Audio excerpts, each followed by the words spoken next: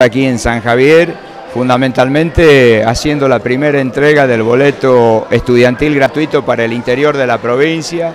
Y vamos a llegar a todas las comunas, a la totalidad de los municipios del interior de la provincia de Tucumán, porque nosotros entendemos que este boleto estudiantil inicial, primario, secundario, terciario y universitario ha venido a cumplir, yo le diría, un rol decisivo en la economía de los hogares de cada uno de los tucumanos que tienen que mandar los chicos a la escuela, al colegio y a las universidades. Es orgulloso de que, de que esta primera entrega se haya hecho acá en San Javier, alivian el, el, el bolsillo de los, de los padres, de la familia, pero principalmente garantiza la presencia de los chicos en la escuela. Con un acto de justicia social, un acto que significa pensar en la educación y proveer de, de, todos los medios que sean posibles para que todos nuestros niños puedan educarse. Este es el segundo año que se hace presente el vicegobernador para hacer entrega del boleto estudiantil y garantiza la presencia de los chicos en las escuelas. Antes de esto había demasiado ausentismo. Esta escuela